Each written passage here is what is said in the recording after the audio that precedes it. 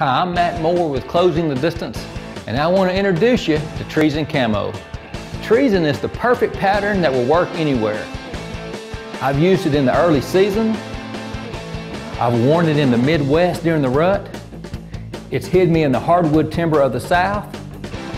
And I've even had success down in deep South Texas with all the cactus, the mesquite trees, and all the brush. The bottom line is that Treezyn is a unique pattern, their clothes fit just right, and it's very comfortable to say the least. Ask your dealer about Treezyn, or for more information, just visit them online. Try them out, you won't be disappointed.